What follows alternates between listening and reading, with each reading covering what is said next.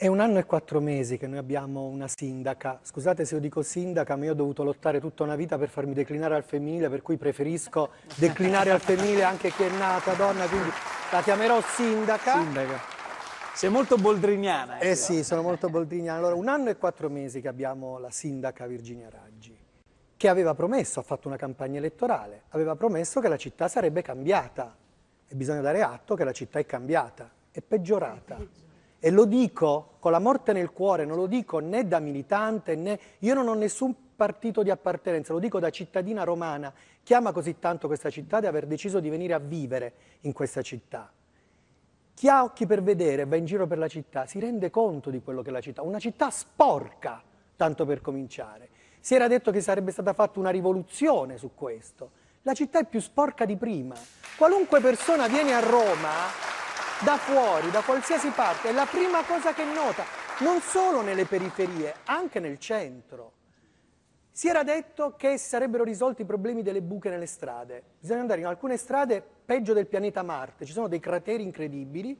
Come hanno risolto il problema delle buche? Non coprendoli, ma mettendo un limite di velocità sulle arterie tipo via Cristoforo Colombo e via Salaria, per cui se tu vai col motorino e appena piovuto e non ti accorgi che lì c'è un buco, c'è un cratere perché c'è l'acqua e magari ci vai a finire dentro, il comune dirà è colpa tua perché andavi magari a 35 km orari e c'è il ritiro della patente e la multa.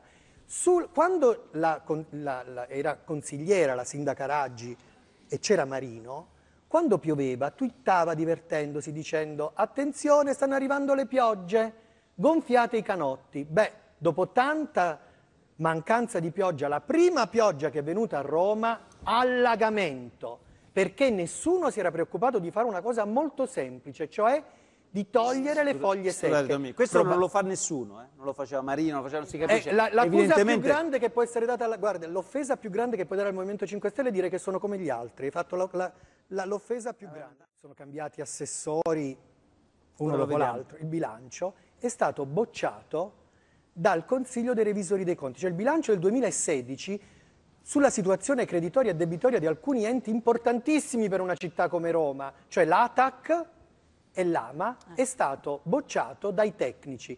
Beh, quando era all'opposizione Virginia Raggi, diceva Marino, dovete tenere in considerazione i pareri dei tecnici. Adesso che hanno bocciato il loro, dicono no, sono, queste sono valutazioni politiche. Io non voglio dare la colpa ai romani, cioè la colpa che ci sono i topi a Roma non è colpa dei romani. Qualcuno ha fatto una campagna elettorale dicendo che arrivava il pifferaio magico a Roma. Capito, però i topi c'erano pure da... prima della Raggi. E, all e allora eh, uno doveva dire la verità e dire non veniamo a fare la rivoluzione, veniamo e vediamo se ci riusciremo a farla. Invece hanno illuso persone deluse giustamente da destra però e sinistra. Però questo fa parte della propaganda sono... politica eh, allora... sempre quando ci si presenta alle elezioni. sono uguali come no? gli altri allora. Eh, so, Promettono e non mantengono, uguali agli altri. Io ho notato che c'è una sindaca che quando sono cominciati i primi problemi all'inizio ha dato colpa alle amministrazioni precedenti, poi quando è cominciato a passare un po' di tempo e questa cosa non stava più in piedi ha cominciato a dare la colpa alla regione, poi al governo. E poi se c'è un problema giudiziario dall'altra parte, tutti pronti a dire galera, manette. Quando capita da loro aspettiamo le carte. Questa non è politica, è schizofrenia.